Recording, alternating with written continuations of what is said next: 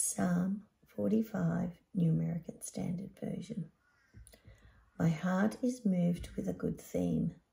I address my verses to the King. My tongue is a pen of a ready writer. You are the most handsome of the sons of mankind. Grace is poured upon your lips. Therefore, God has blessed you forever.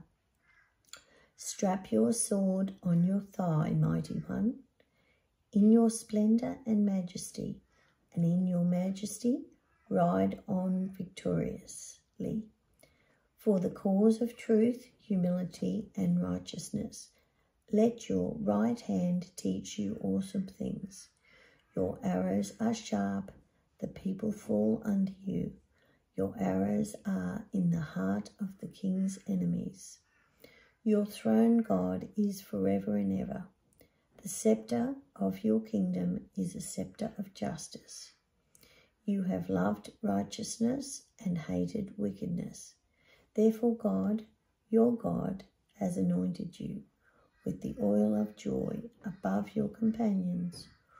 All your garments are fragrant with myrrh, aloes, and cassia. From ivory palaces, stringed instruments have made you joyful. King's daughters are among your noble women. At your right hand stands the queen in gold of from Ophir. Listen, daughters, look and incline your ear. Forget your people and your father's house. Then the king will crave your beauty, because he is your Lord. Bow down to him. The daughter of Tyre will come with a gift the wealthy among the people will seek your favour.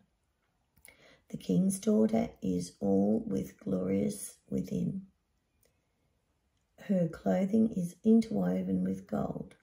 She will be brought, brought to the king in colourful garments. The virgins, her companions who follow her, will be brought to you. They will be brought with joy and rejoicing. They will enter into the king's palace in place of your fathers will be your sons. You shall make them princes in all the earth.